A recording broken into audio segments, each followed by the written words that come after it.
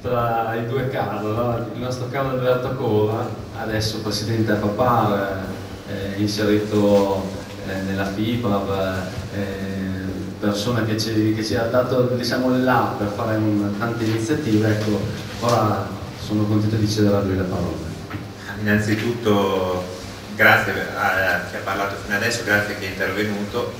grazie a chi ci sta sostenendo, agli assessori, alle, alle realtà sportive, alle istituzioni, soprattutto alla, alla famiglia Occhi, la Geosec, alle società, ai genitori, ai ragazzi. Sono tante, tante realtà che, che, costruiscono la base per poter eh, creare questo circuito, per, per riuscire a portarlo avanti non è la mia matrice quella del, di divulgarlo in tan, tanto in preamboli e di solito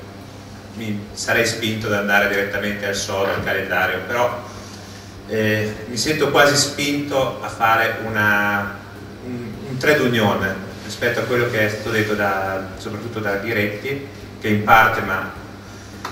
anticipato, infatti ringrazio perché mi ha tolto la seconda parte del discorso, e in parte quello che ha detto il maestro dello sport Devoti. Io lo ringrazio ancora, non l'avevo fatto a suo tempo perché ero piccolino e timido, lo ringrazio ancora perché in piazza Duomo al Tardini c'ero anch'io e sono stati due ricordi fantastici. Il, eh, quello che invece vorrei appunto fare, vorrei ripartire, è stato appunto dall'esperienza eh, del circuito provinciale di 25-30 anni fa, perché oramai risaliamo a, a quei tempi. C'è stato poi un periodo in cui grazie alla volontà di tante persone, a cominciare da alcune società come l'Albero la, del Volley, come l'Energy, come le, il Felino, anche la, come papà abbiamo cercato di organizzare qualcosa a livello giovanile, si è continuato con tante eh, iniziative, spesso ottime dal punto di vista organizzativo, ottime dal punto, buone dal punto di vista dei risultati, tante eh, diciamo, quello che un attimino è mancato in quel periodo lì era stata un, una continuità, un'offerta che fosse un qualcosa di eh, soddisfacente per i ragazzi a livello anche di programmazione e che potesse indurre le famiglie, gli insegnanti, le, gli istruttori, chi doveva portare i ragazzi, chi doveva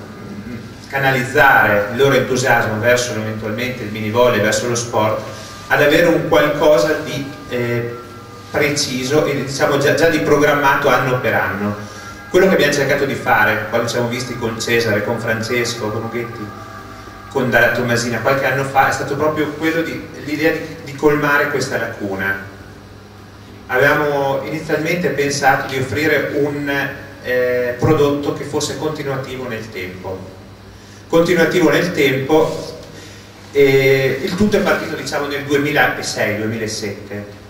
Abbiamo fatto un esperimento durante un torneo di green estivo, introducendo la, la parte giovanile, a cui è, abbiamo cercato di agganciare subito un'iniziativa già in corso, quello che è stato un po' il padre del, chiamiamolo, del nuovo mini volley, il, il Memoria Risicato, nato nel 2004-2005 per iniziativa della società qui del, del Palazzetto, dell'Albero del Volley, continuato poi dall'Energy, intitolato nel 2006 a, Gaetano Risicato, un ragazzo che aveva nello spirito del mini volley il proprio, eh, il, proprio credo. Quando mi ha chiamato Francesco per venire a assistere alla prima edizione mi ricordo che mi parlava di numeri grandissimi, erano 200 persone, molto belle, eccetera però sapevamo sia tutti quanti, sapevamo lui, sapeva Cesare, tutti quanti che potevamo ottenere molto molto di più. In pratica dalla prima edizione in cui complessivamente abbiamo portato sui 250-300 persone nelle tre tappe, compreso il volley day in prima edizione, siamo arrivati ai 1500-1800 ragazzi che muoviamo adesso. Siamo cresciuti tanto, però, però rischieremo di correre un gravissimo errore. Spesso si cade nella bulimia numerica, cioè nella fame di voler a tutti i costi vedere tutto tramutare in cifre. E qui mi riaggancio a quello che, stava dicendo, che stavano dicendo prima Roberto Diretti, che diceva che a cui aveva accennato anche eh, Barbieri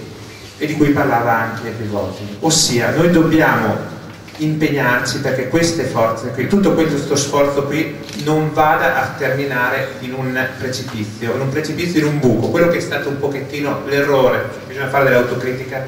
che il mondo della pallavolo ha commesso per certi anni. Offrire una certa, non sapere offrire continuità, ne siamo stati consci, siamo stati anche vittime di tante eh, problematiche, una volta probabilmente era più facile, erano più assistiti, spesso ci siamo trovati a reggere la partita in pochi, ci contavamo spesso, eravamo 5, 6, 7 persone a cercare di portare avanti tutto il discorso del pallavolo giovanile nella provincia in modo continuativo. Adesso questa, questa famiglia è cresciuta, gente come Angelo Marzaroli qui presente, gente come Stefano Strasi, gente come eh, Stefano Pesci,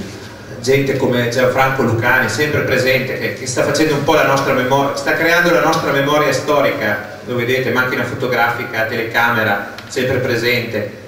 Dario Mambriani che, che, che, racconta le nostre geste, la stampa che ci sta seguendo con continuità. Ecco, adesso io ho, ho chiuso questa parte qui,